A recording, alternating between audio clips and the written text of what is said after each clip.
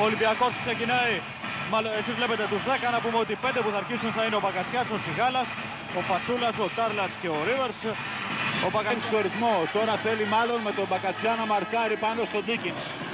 Ναι, Μάλλον ε, πραγματικά ο Μπακατσιάς άλλωστε είχε παίξει πολύ καλά στο πρώτο παιχνίδι και άμυνα πάνω στον Τζίνκινς και είχε βοηθήσει σε άλλους τομείς όπως τα rebound πάρει τη θέση του βασικού σέντερ Νουόσου και έπαιξε αργότερα ο Φεράν Μαρτίνες εδώ άλλωστε η πεντάδα του Παναθηναϊκού. Διαιτητές στο αγώνα σήμερα αφήνει στους άλλους την ε, διαδοχή του στέματός του. Αν ο Ολυμπιακός κερδίσει τότε θα έχει πάρει από σήμερα το εισιτήριο για το Πασχαλιάτικο Final Four της Ρώμης που θα γίνει 22 και 24 Απριλίου στο Παλαέουρ. Η πρώτη επίθεση θα είναι για τον Ολυμπιακό αφού στηρίχθηκε παράβαση στον Φεράν στο Τζάμπολ και έτσι ο Ολυμπιακός με τον Μπακατσιά θα επαναφέρει την μπάλα. Ο Κοχ πάει αμέσως στο μαρκάρισμα του Ρίβερς από ό,τι βλέπω. Ο Αλβέρτης στον Σιγάλα, ο Ντίνκινς στον Μπακατσιά, ο Φεράν στον Φασούλα και πάνω στον Τάρλατς ο Οικονόμου. Δοθείσης ευκαιρίας να πούμε Νίκο ότι η παράβαση του κανονισμού στο τζάμπολ υφίσταται στο ότι ο Φεράν δεν άφησε την μπάλα να ανέβει στο υψηλότερο σημείο για να την χτυπήσει. Να την διεκδικήσει μάλλον. Ο Ολυμπιακός έχασε την πρώτη επίθεση χωρίς να προλάβει να κάνει σουτ και ο Ίβκοβιτς σήκωσε αμέσως τον Παπανικολάου σε χρόνο 0. Ποιος ξέρει γιατί. Ίσως ο Φασούλας να μην είναι απόλυτα έτοιμος γιατί δεν ήταν καλά τις τελευταίες μέρες. Είχε μια ασθένεια, άραγε επιστρατεύτηκε μόνο για τον Τζάμπολ και θα βγει. Θα δούμε. Ο Φεράν πάντως προσπαθεί να εκδηλώσει την πρώτη επίθεση για τον Παναθηναϊκό, κάνει βήματα. Έτσι οι δύο ομάδες έχασαν από μία επίθεση χωρίς να προλάβουν να κάνουν σουτ. Ο Παπα-Νικολάου εδώ μπαίνει στη θέση του Φασούλα πραγματικά στον αγωνιστικό χώρο σκορπισμένοι τέσσερις, τέσσερις ρεπόρτερς του Αντένα, ο Κώστας Έξαρχος, ο Παναγιώτης Μπογιατζής, η Νόρα Τζάνου και ο Γρηγόρης Παπαβασιλείου για να μας δώσουν οτιδήποτε υπάρχει εκεί. Για να ακούσουμε τον Παναγιώτη Μπογιατζή. Παναγιώτη.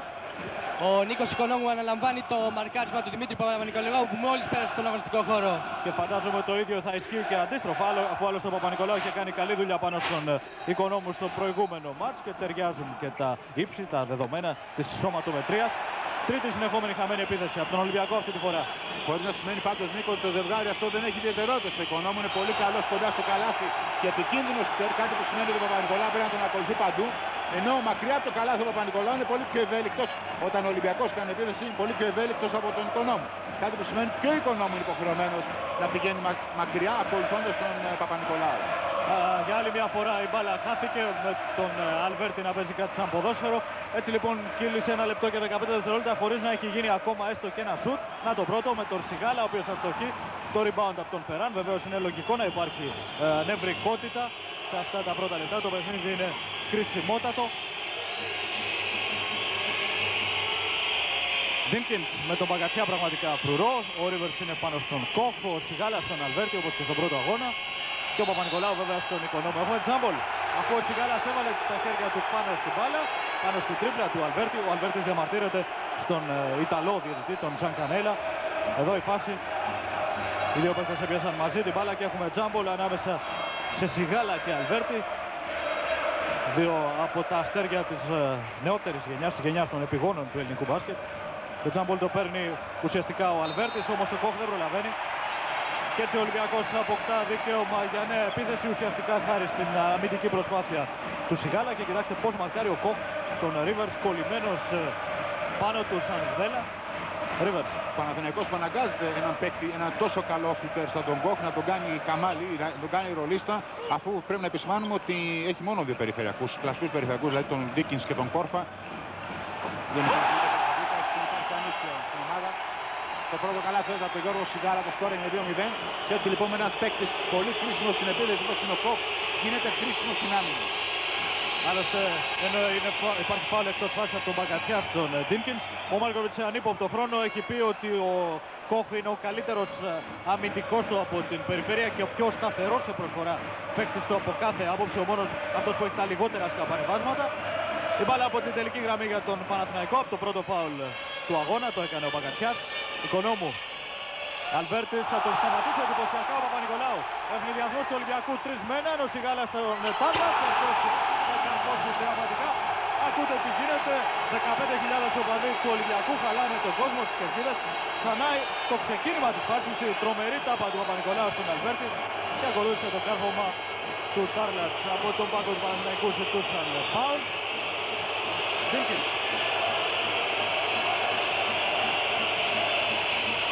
Οικονόμου χωρίς ισορροπία, ένα κακό σουτ, το rebound από τον Σιγάλα.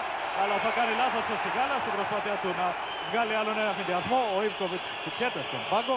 Αλβέρτης και φάουλ από τον ε, Γιώργο Σιγάλα. Να το εδώ. Απορώ πως ένας παίκτης από τον Γιώργο Σιγάλα έκανε τέτοια πάσα. Το φάουλ βέβαια είναι πολύ καθαρό. Έχω την εντύπωση ότι και στο προηγούμενη φάση του Αλβέρτη μπορεί να γίνει φάουλ. Έχω την εντύπωση αυτή. Αλλά απορώ με τον Γιώργο Σιγάλα πως έκανε τέτοιο λάθος. Δηλαδή να δώσει πάσα με τα δύο χέρια και όχι πάνω από το κεφάλι σε τόσο μεγάλο μήκος μέσα στο γήπεδο. Δικαίωμα για δύο βολές στον Φραγκίσκο Αλβέρτη μέσα σε σφυρίγματα. 4-1 ο πρώτος πόντος του Παναθηναϊκού μετά από σχεδόν 3 λεπτά αγώνα. Ο Μάλκοβιτς δεν πρέπει να αισθάνεται και πολύ καλά το τελευταίο καιρό μετά από όσα ακούστηκαν, υπόθηκαν και γράφτηκαν για αυτόν. 4-2 από τις βολές του Αλβέρτη. Ο Τάρλας στον Μπακατσιά, ο οποίος οργανώνει την επίθεση του Ολυμπιακού για να απαλλαγεί για λίγο από αυτό το καθήκον ο Ρίβας. Ο Σιγάλας βγαίνει προς τη μοίρα από τα σκριν, παίρνει την μπάλα, τον ακολουθεί όμως ο Αλβέρτης. Ο Πανικολάου. Σιγάλας ανενόχλητος. Rebound από τον Τίνκινς. Προσπάθησε και ο Μπακασιάς που συνηθίζει να κυνηγάει τα επιθετικά rebound. 4-2. Λογικά θα πάει το μάτι σε χαμηλό σκορ και αυτή τη φορά. Ο Οικονόμου πετυχαίνει το πρώτο καλάθι. Είναι το πρώτο του καλάθι μετά από δύο και κάτι αγώνες αφού στο προηγούμενο μάτι είχε 0 στα 6. Στο μάτι του Περιστερίου δεν πέτυχε ούτε πόντο. Στο μεταξύ να ακούσουμε τι γίνεται και στον πάγκο του Ολυμπιακού αφού δούμε την προσπάθεια του Παπα-Νικολάου. 6-4 το σκορ από τον ε, νεαρό. Το μικρόφωνο μας στον Κώστα Έξαρχο. Κώστα.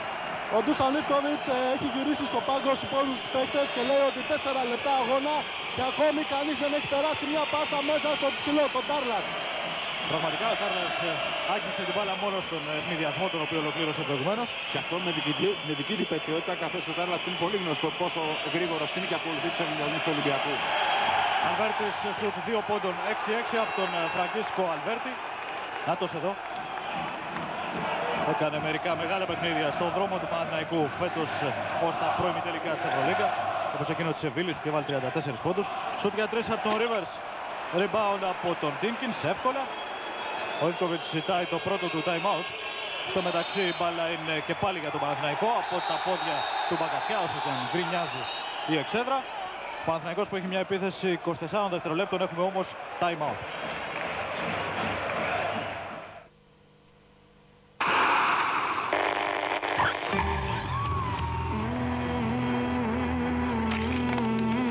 6-6.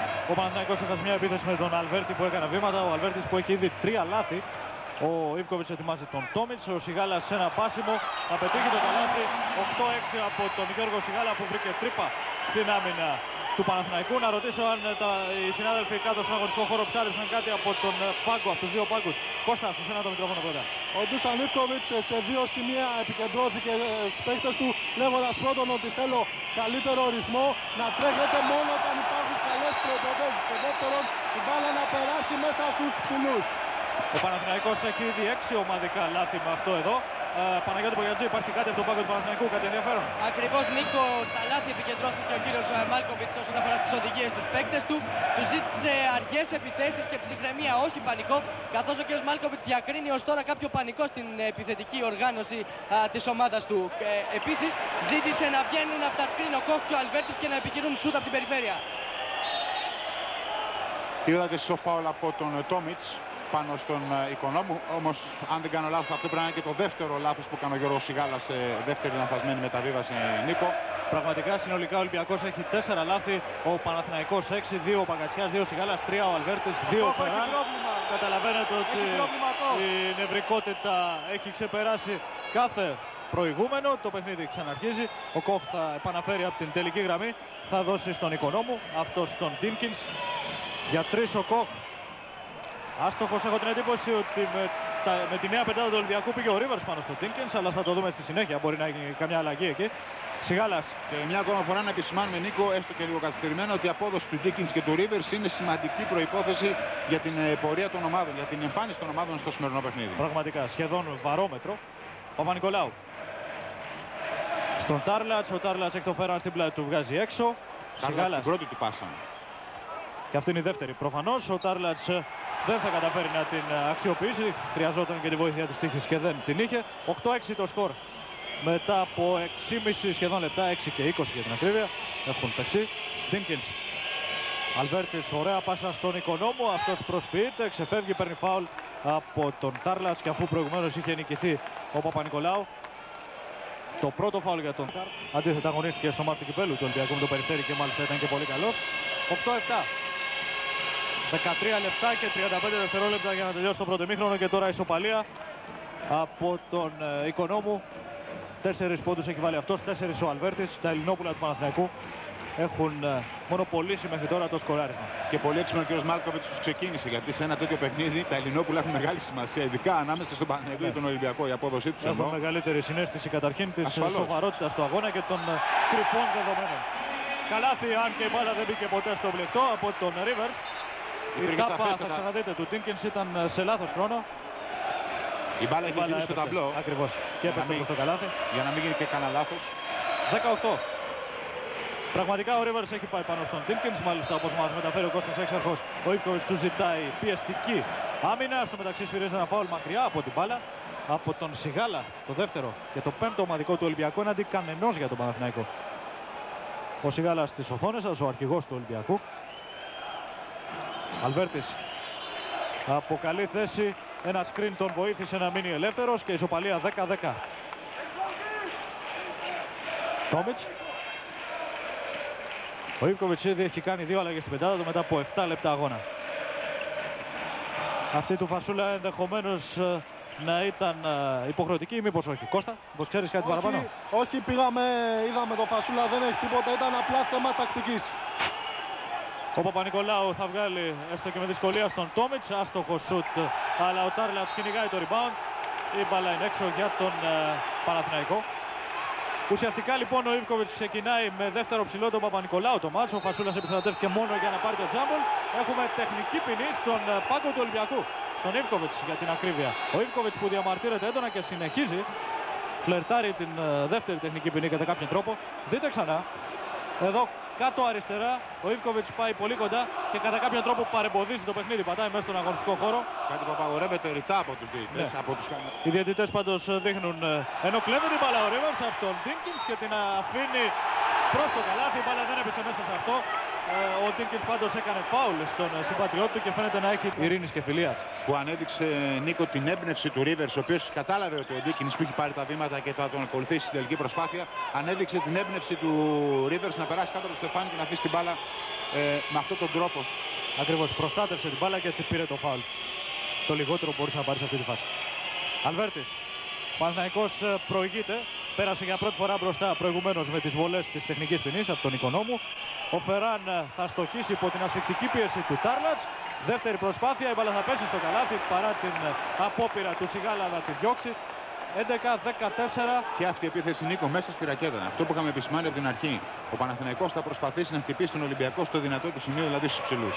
Θα έλεγα ότι ήταν αυτό το καλάθι του Σιγάλα, ο οποίος ε, στην αρχή έδιωξε κανονικά την μπάλα, αλλά την έστειλε με την προσπάθειά του μέσα στο α, καλάθι. Και Όλοι πραγματικά μας από ό,τι συμφωνούμε, βλέπω. θα του πει ευχαριστώ γιατί χρεώνεται δύο πόντους. Ναι, ναι, ακριβώς. Ε, στην, Που είναι αρχηγός. αυτό ακριβώς κοίταζα στην, ε, στο ταμπλό της στατιστικής υπηρεσίας, στο monitor, ότι χρεώθηκε στον οικονόμου το καλάθι, ο οποίος είναι ο αρχηγός του Παναθηναϊκού. Πάντα έτσι συμβαίνει όταν υπάρχει αυτό καλάθι. 11-14. Παναθηναϊκός έχει κάνει ένα καλό ξεκίνημα μετά τα πρώτα μουδιασμένα δευτερόλεπτα. Επιθετικό φάουλ τώρα του Φεράν, ο οποίος ε, σκαρφάλωσε πάνω στην πλάτη του Σιγάλα, κυνηγώντας το επιθετικό rebound. Νάκητς και Φασούλας έτοιμοι να μπουν στον αγώνα για τον Ολυμπιακό. Δύο αλλαγές με σημασία. Καταρχήν ο Ολυμπιακός επιδιώκει Αλλάζει τον Ντάρλατ. Άρα λοιπόν παραμένει στα ίδια. Δηλαδή με έναν ψηλό που δεν ξέρω τώρα αν, θα, αν ο Ολυμπιακός θα, ξε- θα θελήσει πάλι να εκμεταλλευτεί την παρουσία του Παναγιώτη Φασούλα και να ζητάει την μπάλα να περνάει μέσα στο καλάθι. Φαντάζομαι όμως ότι ο κ. Στίβκοβιτ θα έχει κάποια παράπονα με τον Ντάρλατ από τον τρόπο με τον οποίο χρησιμοποιήσει το σώμα του για να πάρει την μπάλα. Ενώ η παρουσία του, του Νάκητς νομίζω έχει να κάνει με μια επιπλέον επιθετική επιλογή για τον Ολυμπιακό. Άλλωστε ο Σιγάλας έχει δύο φάουλ και ίσως να θέλει να τον προφυλάξει και λίγο ο Ιβκοβιτς. Ο οποίος έχω την εντύπωση ότι προσπαθεί να κρατάει και φρέσκια την ομάδα του. Ο Ολυμπιακός ανάμεσα στα δύο μάτια με τον Παναθηναϊκό έπαιξε ένα μεγάλο παιχνίδι με το Περιστέρι. Ενώ ο Παναθηναϊκός είχε ένα πιο εύκολο κόντρα στον ε, Βάο. Ο Φασούλας θα καρπώσει την μπάλα στο καλάθι του Παναθηναϊκού. 13-14 μετά από 9 λεπτά ακριβώς. Πολύ ωραία assist από τον Παπα-Νικολάου. Ο Φασούλας προς στιγμή ευνηδιάστηκε, αλλά τελικά τελείωσε τη φάση χωρίς προβλήματα. Ο Φεράν, ο Σκονοκίνη που μπήκε στη θέση του Κοχ. Ο μάλλον ο Κοχ είναι μέσα. Ο Αλβέρτης είναι αυτός που αποσύρθηκε. Οικονόμου, δεν υπάρχει παράβαση. Ο Οικονόμου θα βγάλει έξω την μπάλα και αφού τράβηξε όλη την άμυνα πάνω του. Για τρεις πόντους χωρίς αποτέλεσμα. Ο Σκονοκίνη και ριμπάουν του Παπα-Νικολάου πιο ψηλά από όλου. Πάσα ευνηδιασμούς στον Νάκης, ο οποίος θα πάρει φάουλ από τον Σκονοκίνη. Ο Σκονοκίνη ακολούθησε τον. Οι διαιτητές ζητούν από αυτούς που κάθονται στον πάγκο του Ολυμπιακού να μην σηκώνονται. Ο Ιβκοβιτ όπως βλέπετε. Ζητάει αντιαθλητικό φάουλ. Ναι, και με πολύ παραστατικό τρόπο. Χειρονομεί γενικώς. Για τρεις ο Ρίβερς. 16-14 ο Ολυμπιακός παίρνει ξανά το προβάδισμα με το τρίποντο του David Rivers. Ο Rivers είναι ο πρώτος σκόρερ του φετινού Ολυμπιακού και στο πρωτάθλημα και στην Ευρώπη. Ο Ολυμπιακός λοιπόν στο συν 2. Τον Φεράν τον ακολουθεί παντού. Ο Φασουλάς αφού ο Καταλανός είναι και καλός είτε από μακριά. Βίλκινς, Οικονόμου. Το ίδιο κόλπο με πριν, όμως ο Φεράν θα χάσει την μπάλα και έχουμε φάουλ. Φάουλ υπέρ του Παναθηναϊκού. Ο, Ντα, ο Νταβίντοφ γυρίζει και κοιτάζει τα νούμερα των παιχτών του Ολυμπιακού, του Φασούλα συγκεκριμένα, στον οποίο καταλογίζει το φάουλ, το πρώτο φάουλ για τον Παναγιώτη Φασούλα. Δύο έχει μόνο ο Σιγάλας. Άλλη μια φορά η φάση.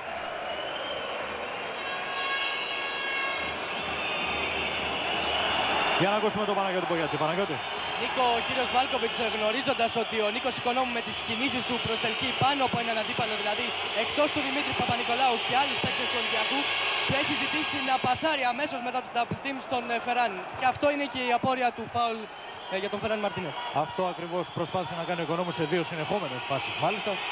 Προηγουμένως η μπάλα έφτασε στο Σκονοκίνη που έχασε το σουτ. Και τώρα στον Φεράν ο οποίος αξιοποίησε τις βολές. 16-16. Και φαντάζομαι ότι αν αυτό συνεχιστεί Νίκο, τότε από κάποια στιγμή και μετά ο κύριος Σίβκοβιτ αρχίζει να δίνει εντολές στον ε, Παπα-Νικολάου, αν τον αφήσει το μαρκάρισμα του οικονόμου, να μαρκάρει περισσότερο στους διαδρόμους για να μην επιτρέπεις στον ε, οικονόμου να, συνεχί... να ε, δημιουργεί προποθέσει για διεισδύσεις. Ο Παπα-Νικολάου θα κάνει ένα άτσαλο σουτ αφού είχε μαρκαριστεί σωστά. Ντίκινς Πάντα σε ρόλο playmaker με αντίπαλο τον Rivers. Το man to man πάντα Ολυμπιακός. Ο Ντίκιν ολοκλήρωσε. Ο Παπα-Νικολάου δεν πρόλαβε να τον ακολουθήσει στην τελική προσπάθεια. Ο Ντίκιν θα κάνει το σκορ 16-18. Το πρώτο ξανά η προσπάθεια του Ντίκιν. Έφερε την μπάλα στο αριστερό και ολοκλήρωσε με το αριστερό. Να είστε σίγουροι ότι είχε διαβάσει τη σκέψη του Παπα-Νικολάου που τον ακολούθησε. Αναβοσβήνουν κάποια από τα φώτα του σταδίου, αν σας φαίνεται κάτι περίεργο στον φωτισμό της ε, εικόνας που έχετε ενώ ο Τόμιτ σκοράρει. Δεν ξέρω αν υπάρχει πρόβλημα. Ελπίζω να μην υπάρχει πρόβλημα σαν αυτό του Αλεξανδρίου της περασμένης εβδομάδας. Τώρα δεν νομίζω ότι υπάρχει ε, ότι το γλέντι οδήγησε του ανθρώπους του Ολυμπιακού να κάνει φωτορυθμικά ή κάτι τέτοιο. Πάντως δεν είναι από το φωτισμό του βασικό φωτισμό του αγωνιστικού χώρου. Ναι. Ο Ντίκινς με το River Span. Είδατε πριν από λίγο εσείς μια υπέροχη προσπάθεια από τον Ντόμιτς. Αφού ο Μαρτίνε δεν τον ακολούθησε, δεν είχε πρόβλημα playmaker του Ολυμπιακού. Σκονοκίνη με τον Άκητς. Ο Ντίκιν με το Rivers.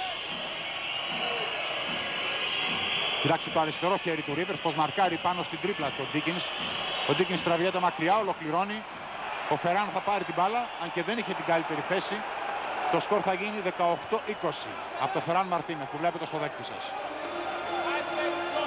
Ρίβερς αργά-αργά. Ένα παιχνίδι χωρίς ευνηδιασμούς. Δεν ξέρω και αν θέλουν τις προϋποθέσεις του ευνηδιασμού οι δύο προπονητές. Ο Νάκης θα σπρώξει την μπάλα μακριά στον Φασούλα. Ρίβερς και πάλι με αντίπαλο τον Ντίγκιν στο μαρκάρισμα από τους δύο Αμερικανούς, ο ένας τον άλλον. Ο Τόμιτς με τον Κοχ, ο Παπα-Νικολάου με τον Οικονόμο, ο Νάκητ με τον Σκονοκίνη που πέρασε αμέσως μόλις πέρασε ο Νάκητ μες στο παιχνίδι. Ο Φασούλας θα κάνει το πίβο, το Σκονοκίνη πιο δυνατό θα πάρει θετικό φάουλ από το Φασούλα. Το δεύτερο φάουλ από το σέντερ του Ολυμπιακού. Τους πρώτους 12 πόντους του Παναθηναϊκού και ο Ντίνκενς. Αυτοί ανέλαβαν τη σκητάλη. Για τον Παναθηναϊκό έχει πολύ μεγάλη σημασία να, να έχει τις δυνατές περισσότερες επιλογές ε, σε ένα τέτοιο παιχνίδι μακριά από το γήπεδό του Άρα μέχρι στιγμής έχουμε τέσσερις. Αλβέρτης με τον ε, Νάκητς. Ο Σκονοκίνη με τον Τόμιτς. Οικονόμου με τον Τάρλατς. Τάρλατς για το, Φασ... για το Φεράν. Αυτός για τρεις. Δεν υπήρχε παίκτη να τον ακολουθήσει. 18-23. Ο Ολυμπιακός παίζει για πρώτη φορά με τους δύο ψηλούς μαζί. Τάρλατς και Φασούλα και μάλιστα νομίζω ότι και οι δύο συνέκλειναν πάνω στο πάσιμο του Σκονοκίνη και έμεινε ελεύθερος πολύ έξω ο Φεράν. Μαρτίνεθ με το Φασούλα Σπρώχνονται. Α κάνουν μια πολύ μικρή διακοπή. Σφυρίχθηκε φάουλ του Φεράν το δεύτερο. Κατά συνέπεια ο Νταβίντοφ που το έδωσε ο Ζακανέλα, δεν μπορούσε δεν μπορούσε να ξαναδώ Νίκο, θα πρέπει να είδε κάποιο σφάλμα για να δώσει το φάουλ στον Φεράν. Πάντως μέχρι εκείνο το σημείο που βλέπα και εγώ το replay δεν είχα δει κανένα φάουλ από τους δύο παίκτες. Τόμιτς με τον Αλβέρτη. Τόμιτς προσπαθεί να περάσει από την εσωτερική και λογικό είναι. Υπάρχει διαφορά 10-12 πόντων ανάμεσα στον Τόμιτς και τον Αλβέρτη. Υπάρχει το φάουλ του Φραγκίσκου Αλβέρτη που καταλογίζεται από τον Νταβίντοφ που βλέπετε εσείς στο δέκτη σας. Επαναφορά της μπάλας από την τελική γραμμή με τον Τόμιτς. Ρίβερς με τον Ντίνκινς. Νάκιτς επιθετικό φάουλ που καταλογίστηκε σχεδόν ταυτόχρονα και από τον Ζανκανέλα και από τον Νταβίντοφ αφού ο Σκονοκίνι πρόλαβε να βάλει το σώμα του κατάλληλα. Και ξανά εδώ η φάση. Νομίζω ότι δεν χωρά καμιά αμφιβολία. Ήταν πεντακάθαρα επιθετικό φάουλ. Όπως είπες, άλλωστε οι δύο διαιτητές το έδωσαν ε, ταυτόχρονα, στήριξαν μαζί. Ντίκινς πάντα με τον Ρίβερς. Σκονοκίνη με τον Τόμιτς. Οικονόμου με τον ε, Κάρλατς και πάλι ο Ντίκινς. Ο Αλβέρτης θέλει να παίξει πάλι χαμηλά με τον Άκητς προσωπικό του αντίπαλο. Όχι το καλύτερο δυνατό σιούτ, ο Τάρλατς θα μαζέψει την μπάλα, θα την αφήσει στον Ρίβερς. Νάκητς. Νάκητς θα πλησιάσει, έπεσε πάνω στο Σκονοκίνη, μια υπέροχη προσπάθεια του Φασούλα που άπλωσε το ύψος του και τα τεράστια χέρια του και έσπρωξε την μπάλα. Κοιτάξτε εδώ, ο Νάκητς χάνει την ισορροπία του από το μαρκάρισμα του Σκονοκίνη. Είναι σαν να δώσε πάστα. Είναι σαν να δώσε πάστα στον Παναγιώτη Φασούλα που Παναλαμβάνω πολύ ψηλός, πέτυχε το καλάθι. Υπάρχει φάουλ από το Φασούλα, είναι το τρίτο. Ευκαιρία για μας να κάνουμε μια μικρή Μια δευτερόλεπτα για να τελειώσει το πρώτο ημίχρονο. 20-25. Ο Παναθηναϊκός προηγείται με 5 πόντους του Ολυμπιακού. Κάρλατς πρόσωπος στο καλάθι με τη γνωστή του κίνηση. Μπάλα να πηδά στη Στεφάνη. Καταλήγει στο καλάθι του Παναθηναϊκού. 22-25. Κάρλατς μειώνει στους 4 πόντους. Νίκο, πόσους πόντους έχουν πετύχει οι δύο ψηλοί του Ολυμπιακού και πόσους του Παναθηναϊκού; από 4 πόντους για τον Φασούλα και για τον Τάρλατ μέχρι τώρα. Πέρασε και ο Βέλκ τώρα στη θέση του Παναγιώτη Βασούλα. Ο ε, Ιβκοβιτς προφανώς διακρίνει ότι εκεί υπάρχει το πρόβλημα και εντοπίζεται το πρόβλημα. Για τον Παναθηναϊκό έχει 9 πόντους και 5 rebound ήδη ο Φεράν και 6 ο Οικονόμου χωρίς είπαμε το αυτοκαλάτι. Και ακόμα 8 Αλβέρτες που είναι δεύτερος κόρη της ομάδας. Ο Κώστας Τέξαρ μας ενημερώνει ότι ο Παναγιώτης Φασούλα αποσύρθηκε από το παιχνίδι γιατί έχει τρία φάλνα και ο Γιώργος Σιγάλας στον δέκτη σας. Και τώρα από αυτό το υπέροχο πλάνο που μας δίνει ο σκηνοθέτης μας, ο Νίκος Οικονόμου, την πρώτη από τις δύο ελεύθερες βολές που έφυγε το Παναθηναϊκό Νίκο είναι να παραμείνει με αυτή την εικόνα ε, όσο το δυνατόν ε, γίνεται στο μεγαλύτερο μέρος του παιχνιδιού έτσι. Διότι μίλους μονούμε ο Ολυμπιακός γηπεδούχος θα πιέσει, θα έχει κάποιο ξέσπασμα, θα πρέπει ο Ολυμπιακός, να, ο Παναγενικός να δούμε αν θα τα απεξέλθει. Υπάρχει φάουλ που βλέπετε του οικονόμου, καθαρό φάουλ. Καθαρό το φάουλ γιατί έσπρωξε με τον, με τον ε, ώμο του τον Γκρέι που προσπάθησε να περάσει με διαφορά στους 4 πόντους. Ο Ντίκινς αργά αργά τη νέα επίθεση του Παναθηναϊκού. Αλβέρτης με τον Γκρέι. Βγήκε τάρλασε πάνω του. Ο Γκρέι τώρα μείνει πάνω στον Οικονόμο. Ο Οικονόμου για 3. 23-30.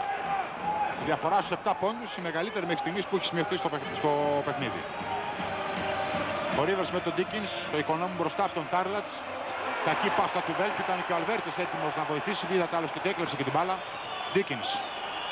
Με το Ρίβερς προσπαθεί να βρει το διάδρομο για τον Φεράνη. Μπάλα καταλήγει στον Σκονοκίνη με ταμπλό. 23-32 ο Παναθηναϊκός παίρνει μια πολύ μεγαλύτερη διαφορά από αυτή που είχαμε σχολιάσει πριν στους 9 πόντους. Ο Παναθηναϊκός που φαίνεται θα πουλήσει πολύ ακριβά το τομάρι του, αν το πουλήσει. Και δεν το πάρει σο για νέο ραντεβού την πέμπτη στην ε, Καλοκρέσα. Ο, ο Σκονοκίνη από το σιούτ του Rivers. Τώρα ο Ντίκινς.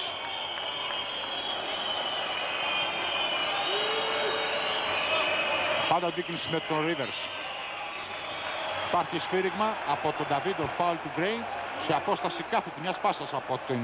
Θα το βλέπετε ξανά, καθαρό το φάουλ. Ο Γκρέι έχει απλώσει το χέρι του και κάνει το φάουλ στον Αλβέρτη. Έχουμε time out που ζήτησε ο Τζανίβκοβιτ.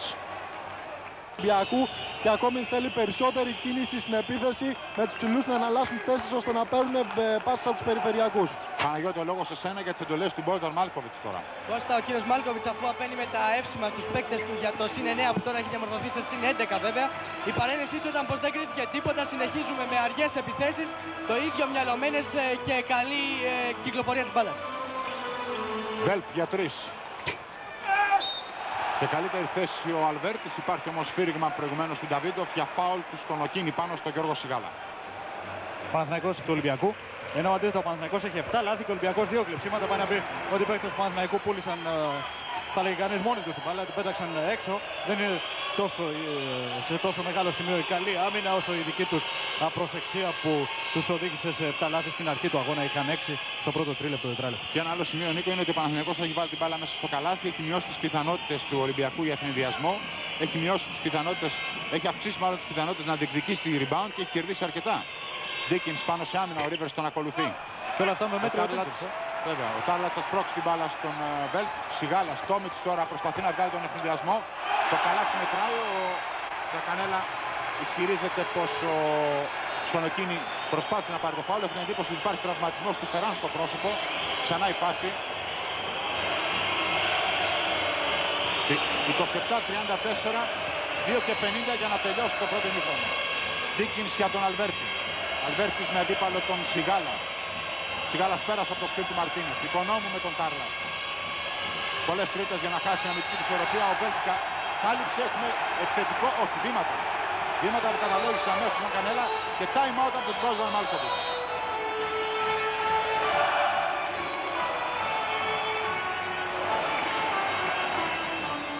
Μισή λεπτά για να τελειώσει το πρώτο ημίχρονο. Υπάρχει σφύριγμα του Σανκανέλα καθώς η πάστα του Σιγάλα προς το Βέλτ δεν ήταν και καταλληλότερη αλλά ο Ιταλός διαιτητής σταμάτησε το παιχνίδι. Το φάουλ του Ντίκινς είναι το τρίτο στο παιχνίδι. Και τρία και ο Σκονοκίνη από, την προηγούμενη, από μια προηγούμενη φάση. Ο Κόρφας πάντως έχει περάσει το παιχνίδι. Ο κύριος Μάλκοβιτς ετοιμάζει τον Κόκ. Σίγουρα θα περάσει τη θέση του Ντίκιν. Ένας άλλος Γερμανός ο Βέλτ μειώνει τη διαφορά. 28-34 στους 6 πόντους. Μια διαφορά που επαναλαμβάνω έχει φτάσει και στους 9 πόντους για τον Παναθηναϊκό. Θέλησε να παίξει για λίγο με τον Κόρφα και τον Τίμκινς μαζί φαίνεται ο Μάρκοβιτς, αλλά το τρίτο φάλ του Τίμκινς του χάλασε το σχέδιο. Λογικό είναι γιατί στα τελευταία λεπτά κάθε προπονητής θέλει να ελέγξει το ρυθμό του παιχνιδιού και ειδικά σε εκτός έδρας παιχνίδι. Ο Κόρφας για τον Οικονόμου. Αλβέρτης με τον ε, Σιγάλα. Ο Κόρφας με τον Τόμιτς, ο Τίκινς έχει την πλάτη του Ρίβερ. Από την εσωτερική έξω για τον ε, Νικολά. Ο, Οικονόμ, ο Αλβέρτης προσπαθεί από τα χέρια του Ρίβερ μπάλα στον Τόμιτς και ξανά ο Αμερικανός. Ο Παναθηναϊκός έχει δύο λεπτά χωρίς πόντο τώρα, από την ώρα που προηγήθηκε με 11. Από το 23-34 δηλαδή έχει φάει 5 αναπάντητους πόντους και ίσως να μεγαλώσει τώρα το σέρι. Ο Ρίβερς για τον Τάρλατς που έχει στην πλάτη του τον Οικονόμου. Σιγάλας για τρεις. Ο Βέλπ έχει κάνει επιθετικό φάουλ, κερδίζει το rebound, αλλά προηγουμένως υπάρχει το σύριγμα του Νταβίδο. Και η 10 έχει την βρυσούζη. Συμμαχιάσαμε. Ρίβερς. Με τον Κοχ.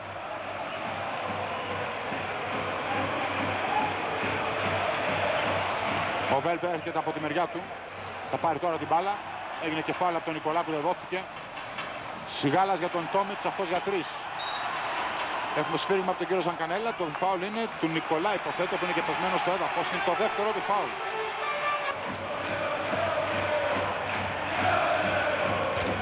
Και τώρα 4, 30-34. 7-0 το σέρι. 1 και 25, 24 τώρα για το τέλος του ημιχρόνου. Κόρφας με τον Τόμιτς, ο Κοχ με το Ρίβερ. Αλβέρτης με το Σιγάλα. Και πάλι ο Κόρφας. Οικονόμου. Πέρα στον Τάρλατ προσπαθεί να αποφύγει και τον Βέλπ. Υπέροχη προσπάθεια του Οικονόμου με το αριστερό χέρι. Την άφησε στο καλάθι. Ξανά εδώ κοιτάξτε. Το Οικονόμου. δεξί πόδι ψηλά με το αριστερό χέρι αφήνει την μπάλα. Υποχρεωτικά. Ο Οικονόμου χτύπησε, κουτσάνι. Δεν μπορεί να απαντήσει. Νίκοβιτς δεν έδειχνε επιθετικό φάουλ, έδειχνε άμυνα με το στήθος. Ρίβερς. Τάρλατς. 32-36. Όπως είπε πριν από λίγο ο, Νίκο, ο Νίκος Παπαδογιάννης, ο συνονόματός του οικονόμου, τραυματίστηκε. Υποθέτω ότι είναι κάποιο θηλαστικό τραύμα αυτό ή χτύψη στο γόνατο. Να ο οικονόμου που κουτσένει, έχει ετοιμαστεί ο Νουώσου. Αλβέρτης με τον Σιγάλα πάντοτε κοντά του. Προσποίηση. Με ταμπλό το σιούτ την μπάλα στα χέρια του Τάρλατς. Η πρώτη πάσα στο Rivers. Και τώρα Έχουμε έχουμε τεχνική ποινή στον Αλβέρτο. Τεχνική ο οποίος ποινή στο φραγί του διαμαρτυρήθηκε- Αλβέρτη από τον Ζακανέλα. Ο Αλβέρτης διαμαρτυρήθηκε πάρα πολύ έντονα επειδή ζήτησε φάουλ. Φαντάζομαι ότι οι εντολές του Μπόζαν Μάλκοβιτς θα έχουν σχέση με μια επίθεση των 30 δευτερολέπτων έτσι ώστε ο Παναθηναϊκός να εξαντλήσει όλο το χρόνο που από αθλητής του Παναθηναϊκού Ο όπως Οικονόμου παλιός αντικαταστάθηκε. αθλητής Συγγνώμη Νίκο. Ο Οικονόμου αντικαταστάθηκε, έλεγα, και πήρε τη θέση του Νουώσου. Ο Παναθηναϊκός θα παίξει με Νουώσου και Νικόλα κατά τα καλάτι για αυτά τα τελευταία δευτερόλεπτα. Έλεγα εγώ ότι παλιός αθλητής του Ολυμπιακού, του Τισάκ και του Ηρακλήνου, ο Κώστας Μπογατιώτης, ο βοηθός του Ντουζανίρκοβιτς. Κόρφας με τον Τόμιτς. Κόρφας κοιτάει και το χρόνο που απομένει για την επίθεση του Παναθηναϊκού. Τώρα θέλουμε 16 δευτερόλεπτα, τώρα 15. Πάντα ο Κόρφας, αφού ο Τόμιτς δεν τον μαρκάρει, δεν τον πιέζει, έχει κάθε άνεση να τριπλάρει και να κοιτάει την επόμενη επιλογή του σε πάσα. Είναι ο Νουόσου που θα κάνει το πάτημα, θα πάρει το φάουλ από τον Βέλτ. Θα έχει δικαίωμα για δύο ελεύθερες βολές. Να ο Κρίστιαν Βέλτ που κάνει το δεύτερο του φάουλ, ο Γερμανός πάνω στον Νουόσου. Και ο Νταβίντοφ. Ο Φασούλας έχει τρία φάουλ, τρία έχουν για τον Παναθηναϊκό Αλβέρτης, Τζίνκινς και Σκονοκίνη τώρα. Ο Αλβέρτης θα πάρει φάουλ, νέο φάουλ από το Rivers. Σε μια φάση όπου ο Ολυμπιακός, και λογικό είναι στο χρόνο που απομένει, ο Αλβέρτης πάντως έχει τώρα δύο συνεχόμενες εύστοχες, προηγουμένως και δύο συνεχόμενες άστοχες. Σιγάλας. Σιγάλας θα πατήσει, θα βγάλει την μπάλα για τον Τόμιτς. Ο Τόμιτς πάνω σε άμυνα το σουτ. Την μπάλα στο καλάθι. Είναι για τρεις πόντους όπως υπέδειξε αμέσως τον Νταβίδοφ. Το ημίχρονο λοιπόν θα τελειώσει. 37-39 ο Παναθηναϊκός προηγείται με δύο πόντους. Εμείς ολοκληρώνουμε το πρώτο ημίχρονο στο σημείο αυτό. Επιστρέφουμε όσο ξαναβλέπετε το σουτ του Τόμιτς. Άτυσε ο Τζαμσούτ παρά το γεγονός ότι ήταν Νικολά και Κόρφα σε πάνω του. Επιστρέφουμε λοιπόν στο στούντιο του Αντένα. Θα είμαστε ξανά μαζί για την περιγραφή του δευτέρου ημιχρόνου.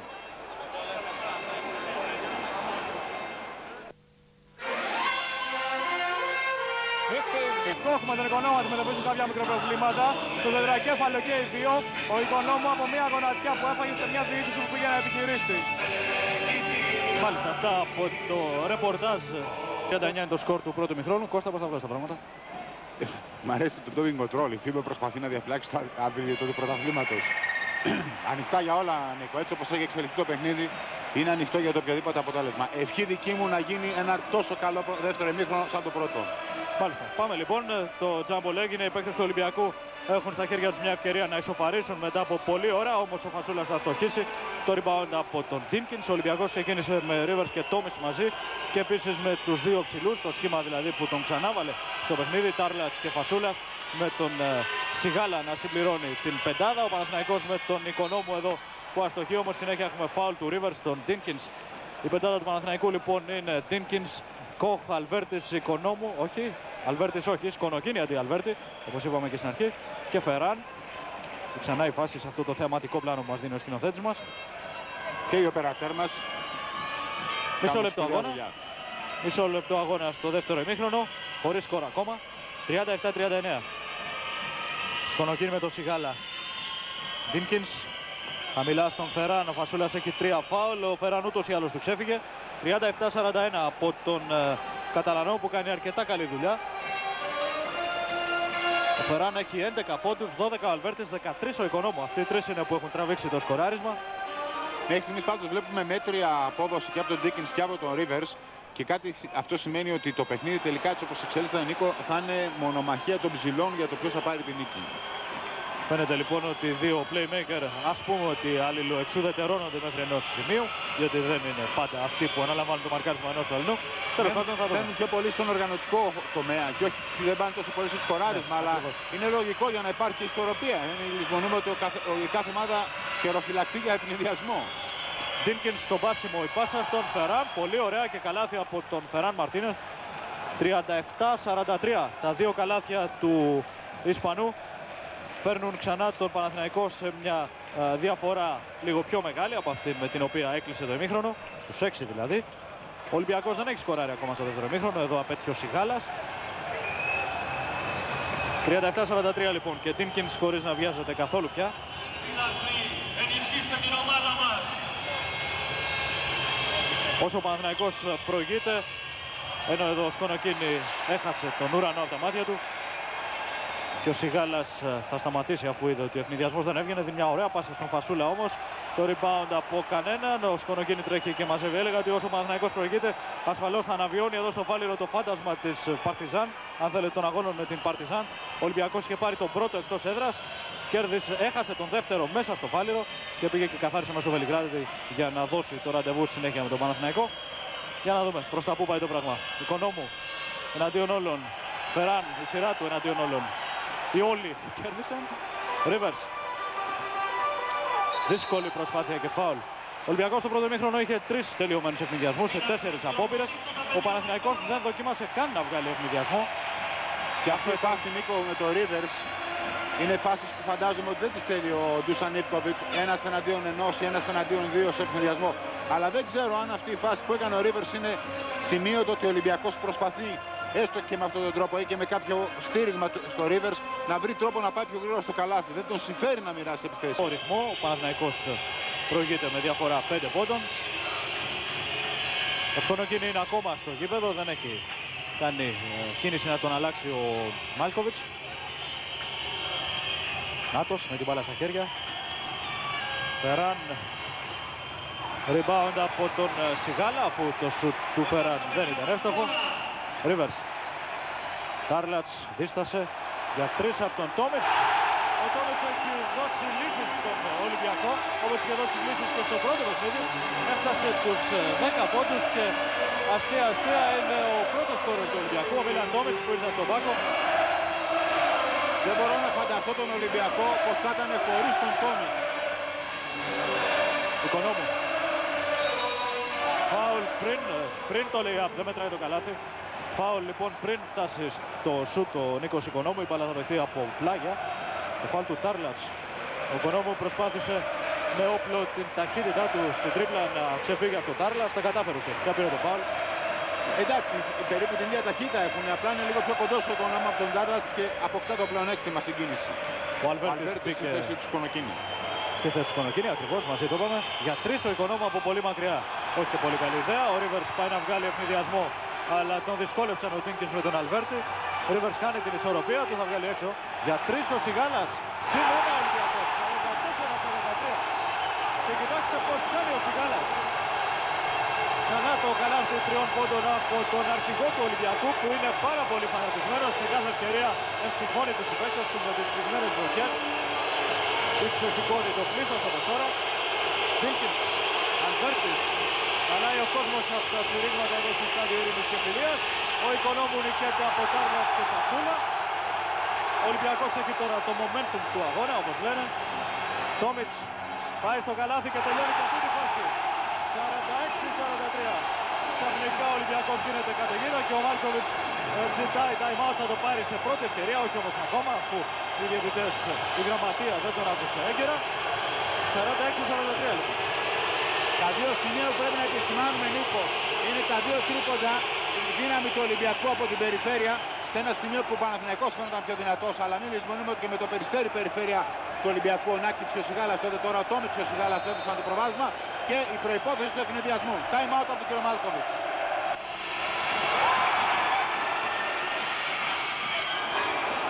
Ίσως να προλάβατε να δείτε το καλάθι του Αλβέρτη με τον οποίο ο Παναθηναϊκός μειώνει στον πόντο. Είχε προηγηθεί ένα άστοχο ε, σου τριών πόντων από τον Φεράν. Να πάλι πως ο Αλβέρτης μείωσε σε 46-45. Να λοιπόν που ξαφνικά ο Ολυμπιακός έφερε καπάκι τον Παναθηναϊκό με 8 γρήγορους αναπάντητους πόντους στα δύο τρίποντα του Τόμιτς και του Σιγάλα και το λέει up του Τόμιτς.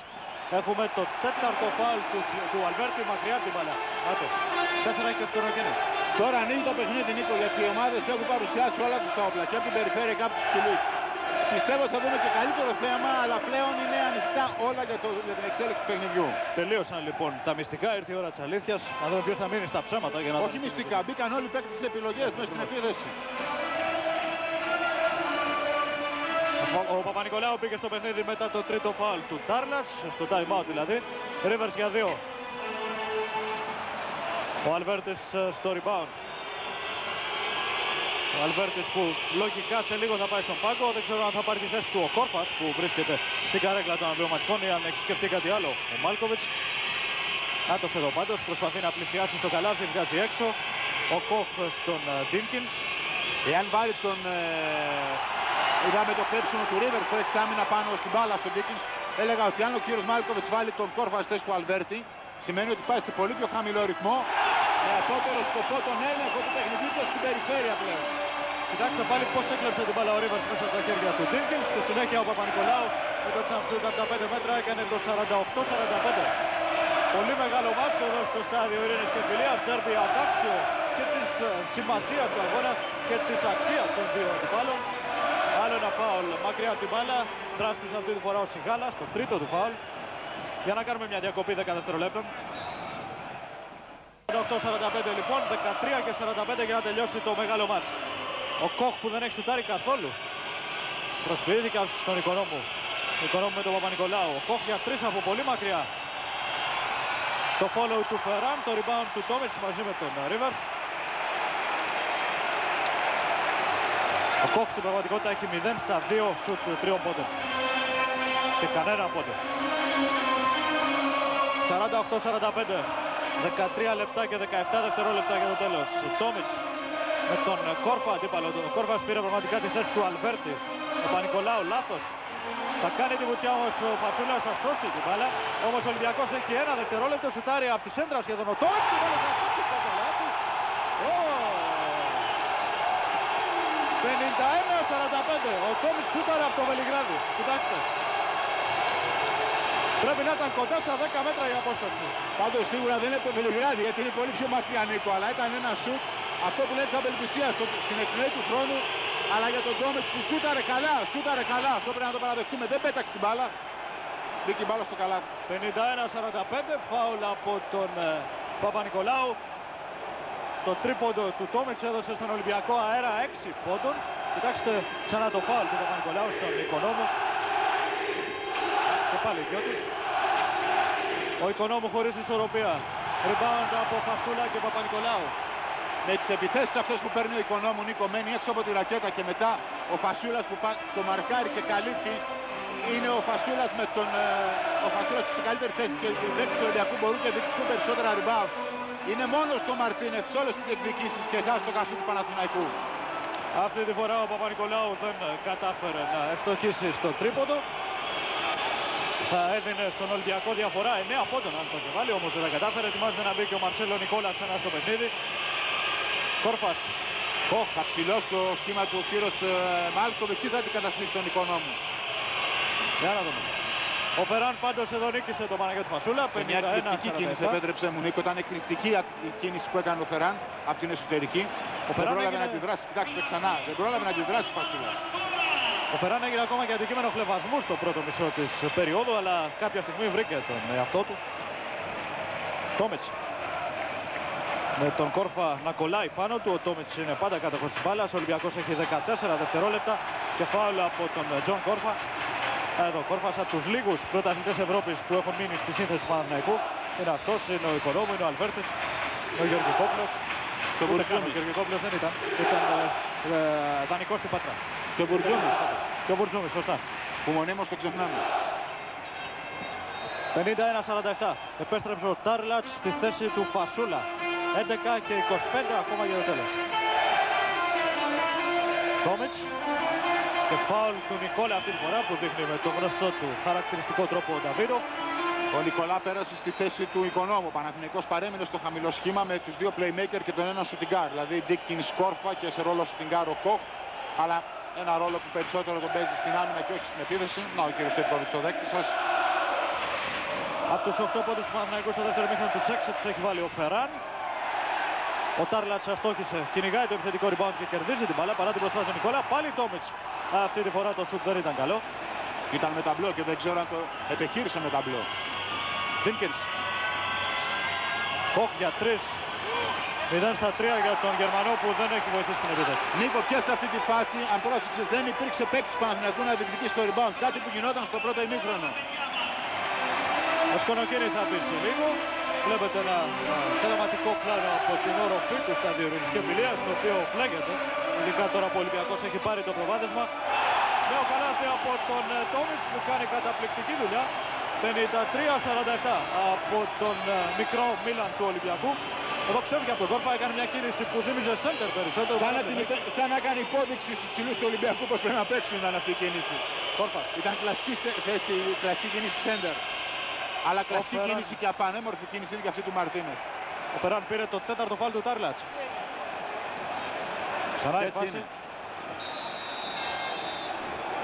Ο Φεράν που είναι σχεδόν μόνος στην επίθεση στο δεύτερο ημίχρονο για τον Παναθηναϊκό. Ο Οικονόμου δεν έχει σκοράρει, ο Αλβέρτης έβαλε μόνο εκείνο το καλάθι από το επιθετικό rebound. Οι άλλοι δεν είναι πουθενά. Σκονοκίνη. Φεράν. Δίνκινς. Ο Ολυμπιακός έχει 6 ομαδικά φάουλ, ο Παναθηναϊκός 4 στο δεύτερο ημίχρονο. Κόρφας. Ο Νικόλα θα βγάλει έξω στον Ντίνκινς λίγο ρηψοκίνδυνα. Πάντα ο Τίνκινς έχει χρόνο στη διάθεσή του, ακόμα 10 δευτερόλεπτα. Τελικά αστόχησε σε προσπάθεια τριών πόντων. Ο Τόμιτς παρόν και έχει. Ο Τόμιτς νομίζω ότι είναι ο πολυτιμότερος παίκτης του Ολυμπιακού στον αγώνα. Ο κορυφαίος παίκτης Νίκο. Ο Ρίβερς τώρα σε ρόλο playmaker στη νέα επίθεση του Ολυμπιακού. Σιγάλας. Με το σκονοκίνη μπροστά του.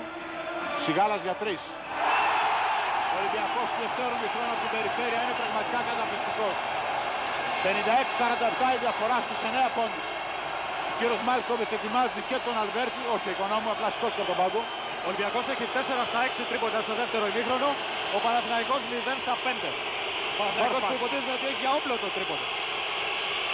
Πολύ κατατοπιστικά και πληροφοριακά αυτά τα σχόλια από τον Νίκο. Κόρφακ με τον Τόμιτς. Και τώρα ο Ρίβες προσπαθεί να περάσει από την εσωτερική. Κάλυψε ο Φασούρας την μπάλα από τα χέρια του Σιγάλα. Θα καταλήξει σε λίγο στο Ρίβερς και σε οργανωμένη επίθεση ξανά ο Ολυμπιακός. Ρίβερς με τον Ντίκινς. Παπα-Νικολάου με τον Νικολά. Την παλιά προς τον Ρίβερς δεν βγαίνει. Σιγάλας. Με το σκονοκίνη. Σιγάλας για τρεις. Ο Ρίβερς θα προλάβει. Νέα επίθεση για τον Ολυμπιακό. Κάτω δεξιά βλέπετε το χρόνο που απομένει για το παιχνίδι. 8,5 λεπτά. Ρίβερς και πάλι. Υποδείξτε από τον Ζανκανέλα. Ο Τάρλατς έχει στην πλάτη του το Φεράν. Θα τον αποφύγει κακό το σουτ σκονοκίνη. Και τώρα ο Κόρφας. Επέστρεψαν όλοι οι παίκτες. Νικολά. Επιθετικό φάουλ του καταλογίστα του Κανέλα. Ευκαιρία για μας να κάνουμε μια πολύ μικρή διακοπή. Στώσαμε και πάλι κυρίες Δασποινίδες και κύριοι στο στάδιο Ειρήνης και Φιλίας. Είδατε τον Αλβέρτη με τον Ντίκινς πριν από λίγο και τώρα και τον Οικονόμου μέσα στην πεντάδα του Παναθηναϊκού. Ρίβερς. Παπα-Νικολάου. Σιγάλας με το Σκονοκίνη. Και πάλι ο Παπα-Νικολάου με τον Οικονόμο, ο Τάρλατς με τον Μαρτίνεθ και τώρα ο Τόμιτς που προσπίθηκε στον Αλβέρτη. Πα- Πάνω σε άμυνα το σουτ. Ο Τάρλατς δεν θα συγκρατήσει την μπάλα, θα τη συγκρατήσει όμως ο Σκονοκίνη που δημιουργεί προϋποθέσεις ευνηδιασμού. Ο Τόμιτς έξυπνα του κάνει το φάουλ για να μην φύγει στον ευνηδιασμό ο Σκονοκίνη. Δεύτερο φάουλ για τον Μίλαν Τόμιτς που όπως πολύ σωστά είπε ο Νίκος μέχρι στιγμής ο κορυφαίος παίκτης του Ολυμπιακού. Έχω την εντύπωση ότι ανέλαβε ο Αλβέρτης στο μαρκάρισμά του στο, και- στο καινούριο σχήμα του Παναθηναϊκού. Ο Παναθηναϊκός δεν παίζει πια με δύο κοντούς, έχει τον Τίμκινς και δύο παίκτες, ας πούμε τριάρια μαζί να μοιράζονται τις θέσεις δύο και Σύλλωσε τρία, την το περιφέρειά του Στονοκίνη ο και κύριος τον Μάλκοβιτς για να είναι πιο αποτελεσματική πάνω στην τελική προσπάθεια Νίκο. Καθώς ο Ολυμπιακός παίζει με την περιφέρεια. Παπα-Νικολάου με τη βοήθεια του Τόμιτς θα κλέψει την μπάλα από τον Οικονόμου και τώρα ο Ρίβερς.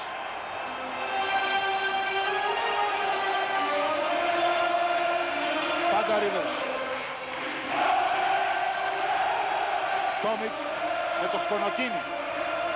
Ο Αλβέρτης είναι πάνω στο Σιγάλα. Και ο Ντίκινς κλασικά πάνω στο Ρίβερς. Ρίβερς προσπαθεί να κάνει τη διείσδυση. Υπάρχει σφύριγμα από τον Νταβίντοφ για αμυντικό φάουλ του Ντίκινς. Τέταρτο του. Ευκαιρία για μας να κάνουμε μια πολύ μικρή διακοπή.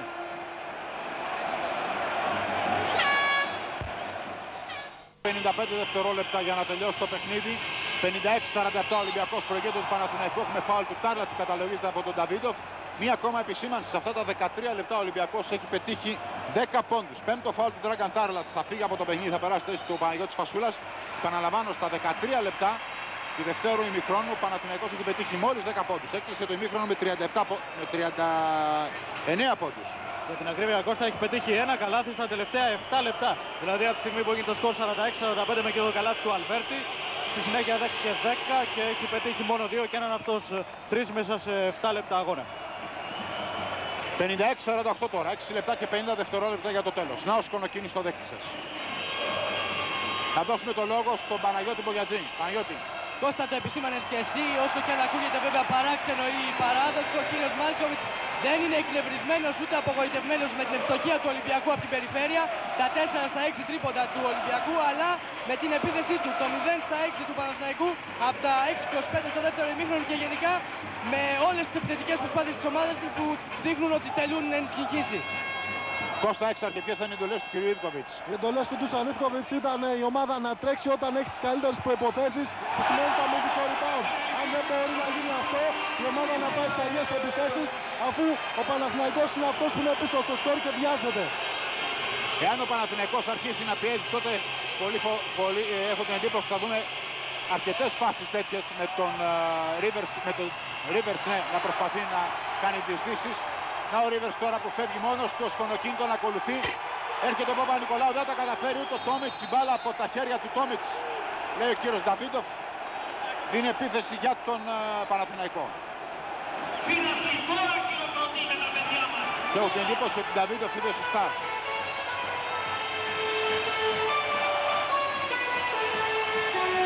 Δίκινς στη νέα επίθεση του Παναθηναϊκού. Αλβέρτης με το Σιγάλα.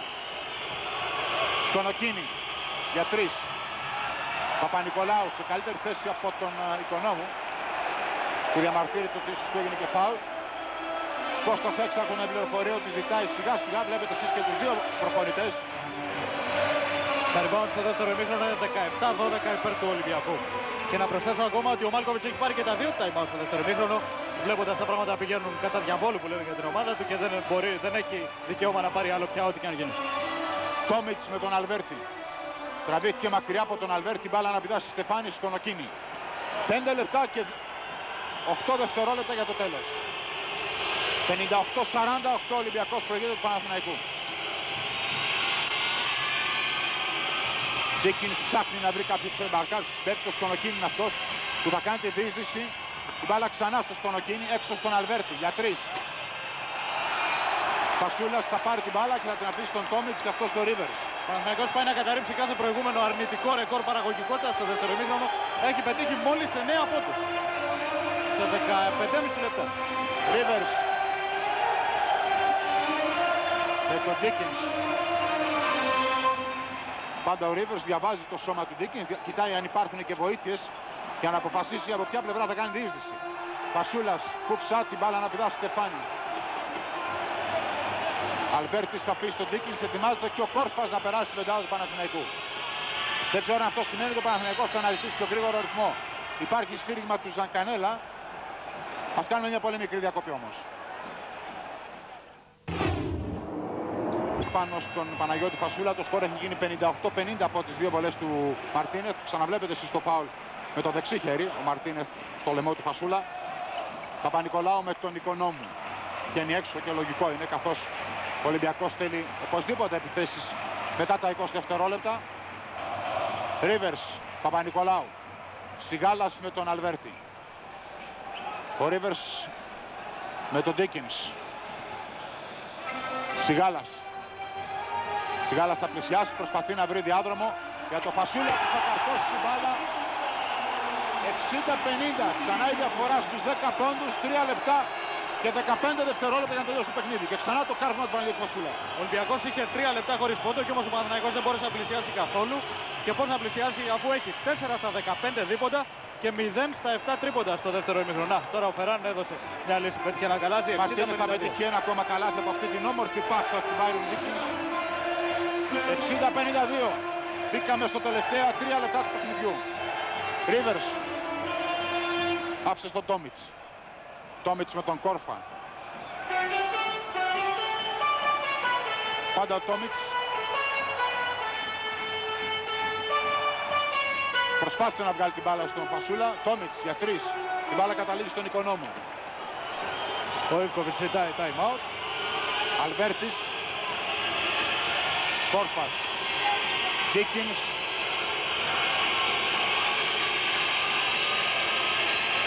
Παπα-Νικολάου βγήκε για βοήθεια και έμεινε πάνω στο Ντίκινς. Ο Ρίβερς όμως έχει μείνει με τον Οικονόμου. Και βέβαια ο Παναθηναϊκός λογικό είναι να θέλει να το εκμεταλλευτεί. Ο Ρίβερς βλέποντας τον Οικονόμου να έχει πάρει το διάδρομο και να πηγαίνει για τη διείσδυση έχει κάνει το φάουλ. Ενώ έχουμε time out από τον Ντούσαν Ιβκοβιτς.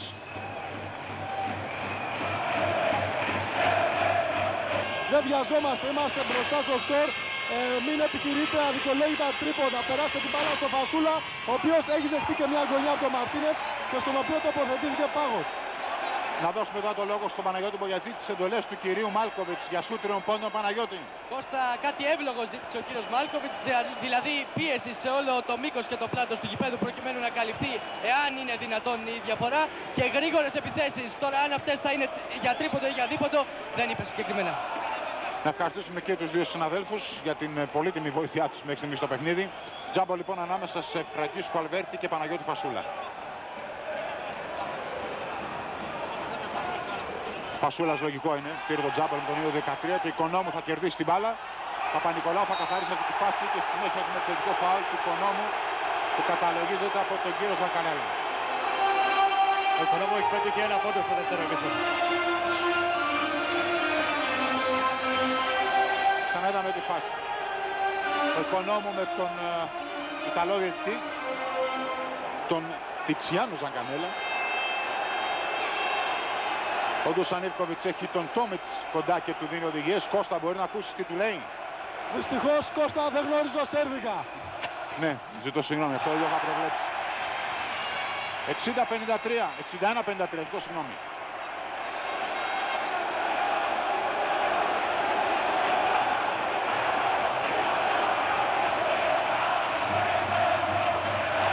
Και τώρα 62-53, 9 πόντι διαφορά, 2 λεπτά και 3 δευτερόλεπτα για το τέλος.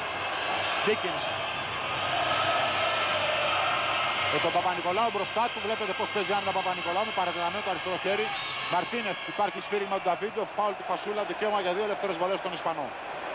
Να πάμε για τους Φασούλα στον δέκτη σας, πέμπτο φάουλ και για τον Φασούλα. Και με πέντε έχει βγει και ο Τάρλατς. Ο Ολυμπιακός μένει χωρίς τους δύο βασικούς του ψηλούς, αλλά επιστρατεύεται ο Βέλτ προφανώς με τεσάρι τον Παπα-Νικολάου. Να ο στον δέκτη σας, που δέχεται την ώρα που δέχεται τις εντολές από τον Τούσαν Ιβκοβιτς.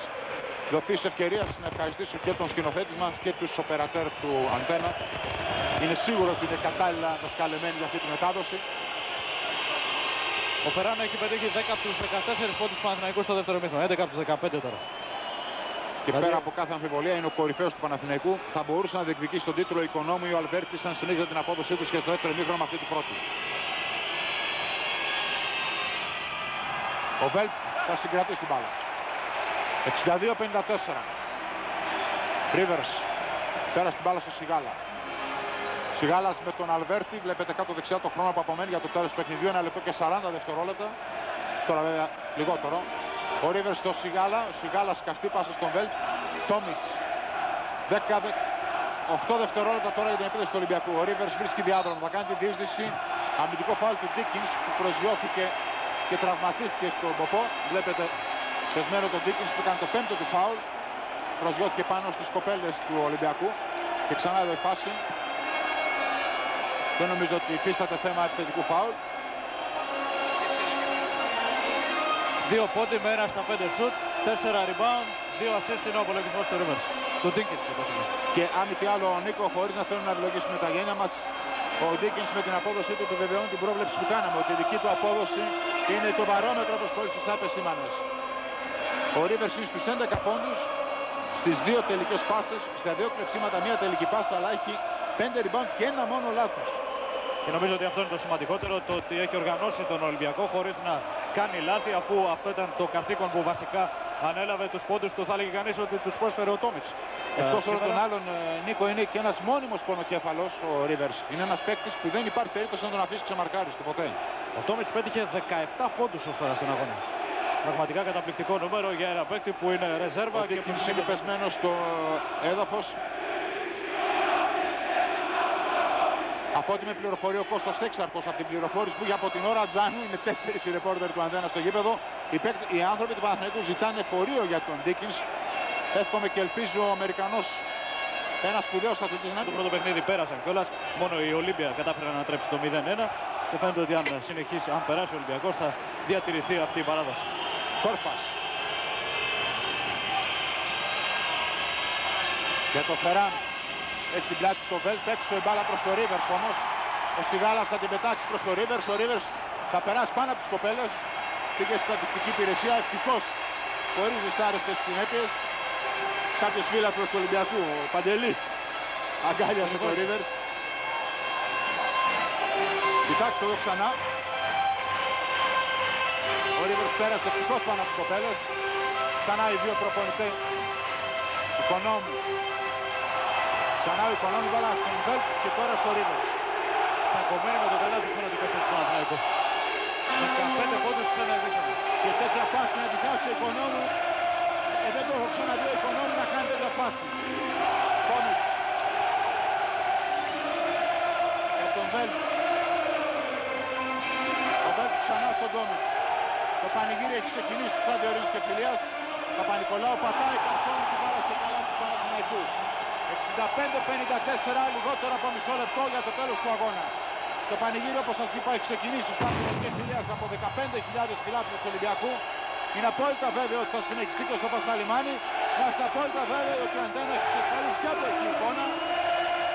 Εσείς βλέπετε πλάνα από το κερκίδες του Σταδίου Ειρήνης και Φιλίας. Θα πρέπει να ξεκαθαρίσουμε, να διευκρινίσουμε ότι ο Ολυμπιακός που από ό,τι φαίνεται πάει στη Ρώμη θα παίξει με την νικήτρια του ζευγαριού Στεφανέλ Ολύμπια. Η Στεφανέλ προηγεί το 1-0 μέχρι το σημερινό δεύτερο μάτς. Αν όμως προκριθούν δύο Ιταλικές, δηλαδή και η Στεφανέλ και η Team System, τότε θα παίξουν αυτές μεταξύ τους στον ημιτελικό και ο Ολυμπιακός θα παίξει με την Έφερ Pilsen ή με την Βιλερμπάν. Οι Τούρκοι είναι πιο κοντά στην πρόκληση αφού προηγούνται με 1-0. Τα πράγματα έτσι όπως έχουν εξελιχθεί Νίκο ο Ολυμπιακός είναι βέβαιο ότι έχει φτάσει στη Ρώμη. Απόλυτα βέβαιο. Ευχή όλων μας είναι να υπερασπιστεί τον τίτλο από το σημερινό του μονομάχο. Μακάρι ο Ολυμπιακός να φέρει το ευρωπαϊκό πρωτάθλημα στη χώρα μας. Μακάρι. Τα μεγάφωνα του σταδίου παροτρύνουν τον κόσμο να κλείσει θέσεις για τη Ρώμη. Καταλαβαίνετε ότι το γλέντι θα κρατήσει όλο το βράδυ ανάμεσα στους οπαδούς του Ολυμπιακού. Ο Κόρφας βάζει ένα τρίποντο που το πανηγυρίζουν ηρωνικά οι οπαδοί του Ολυμπιακού. 65-57. Και το μάτς τελειώνει. Νομίζω ότι θα πάμε αμέσως στον Κώστα Έξαρχο. Μήπως καταφέρει να μιλήσει με κάποιον πάνω στο πανικό της στιγμής.